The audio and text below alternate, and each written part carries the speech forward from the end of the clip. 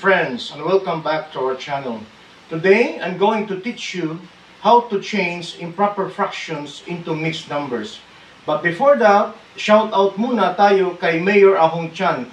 Thank you so much Mayor for visiting us this morning. And shout out din sa aking kaibigan ni si Mr. Alex Ando from Cordoba, Cebu. If you're new to this channel, please do subscribe and hit that notification bell so that you'll be updated for my coming videos. Okay, let's start. Example number 1. 9 fifth. So this is improper fraction. Then we'll try to change this into mixed number. So how can a fraction be called an improper fraction? An improper fraction is a fraction that has a greater value in the numerator and lesser value in the denominator, just like this one. So 9 over 5. So this is improper fraction because the numerator is greater than the denominator. So how do we change this? So we just simply divide this one. So 9 divided by 5. So let's try to solve. 9 divided by 5. So 9 divided by 5. So it is 1. So multiply 1 times 5 is 5. The next step, we have to subtract. 9 minus 5 equals 4. Now, okay, look. So, from here, we go down there and the third step is here.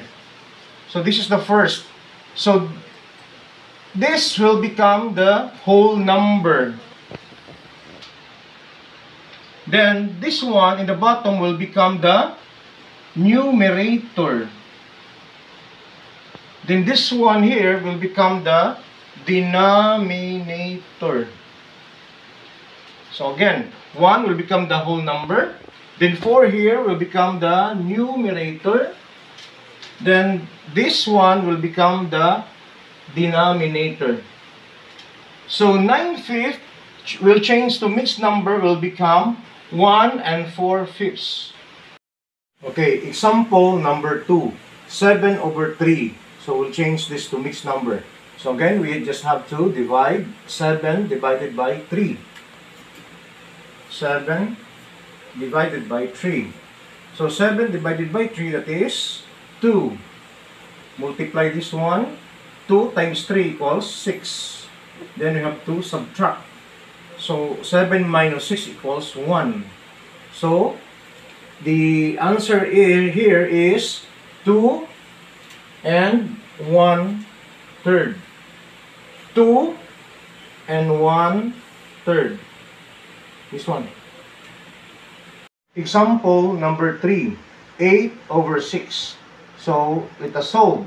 8 divided by 6.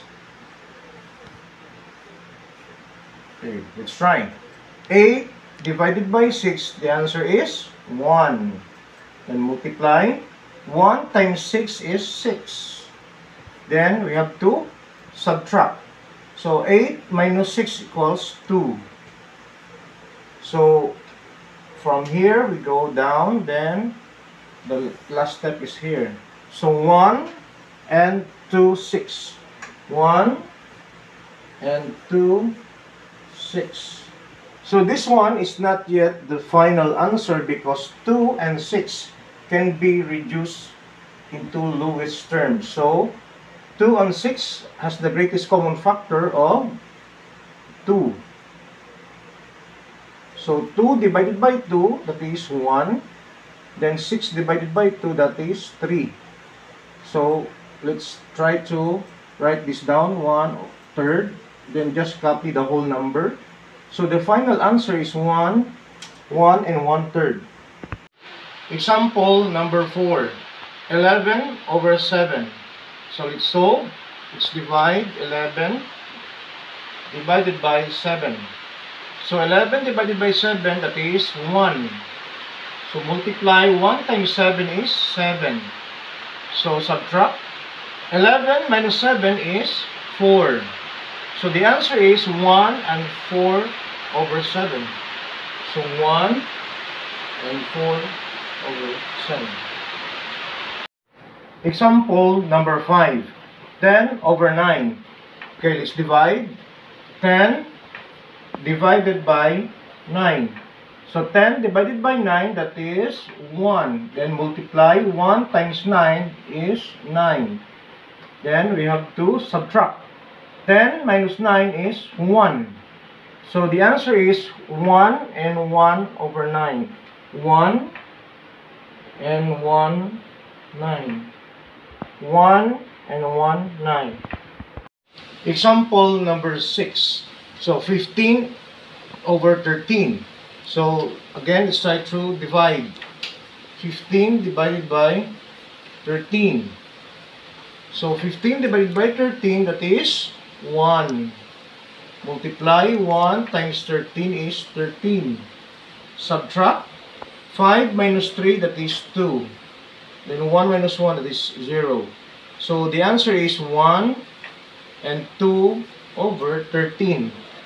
1 and 2 over 13. Example number 7. 13 over 10 or 13 tenths.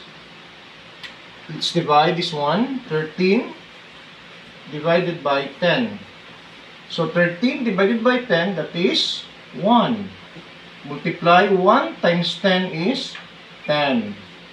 Subtract 3 minus 0 is 3.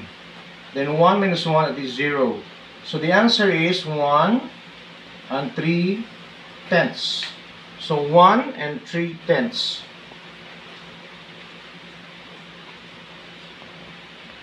So hanggang dito na lang muna tayo mga bata. I'm sure that you have learned something from our lesson today. And again, please do not forget to subscribe and click that notification bell. Paalam!